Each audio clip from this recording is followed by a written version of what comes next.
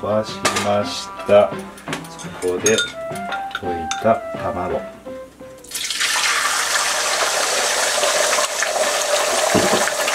こを軽くかき混ぜながらざっくり炒めて火が通ったら2升の米を2合か2合の米でこう返して卵とご飯を混ぜる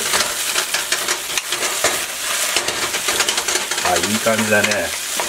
ああこれは油ご飯絶対うまいわこれ。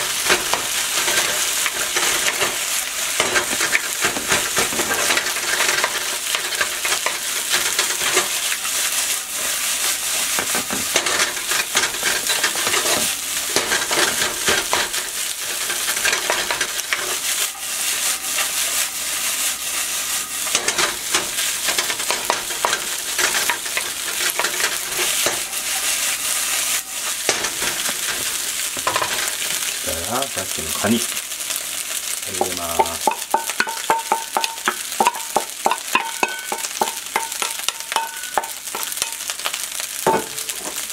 でネギ。入れてます。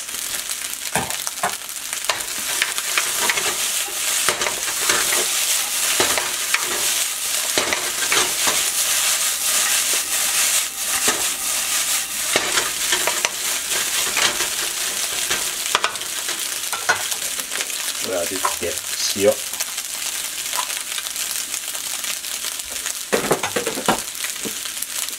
ょっとうまみ調味料胡椒。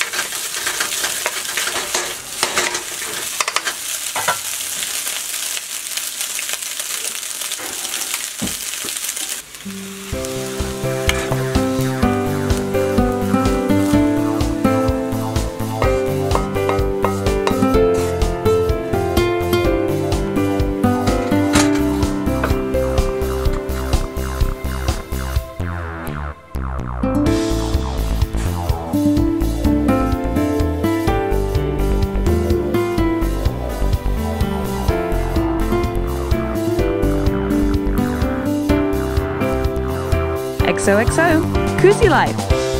See you next time!